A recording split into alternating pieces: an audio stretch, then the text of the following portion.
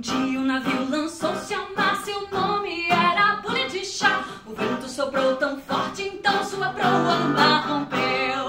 Lá vem o baleiro trazendo rum e pimenta de cheiro. Vamos subir a bordo assim que a caça baleia acabar.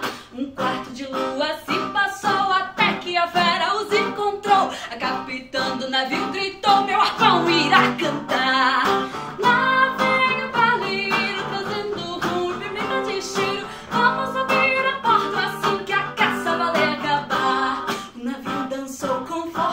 A e quase afundou num agito de cauda. Todo marujo laçou seu nó e atirou contra fora do mar.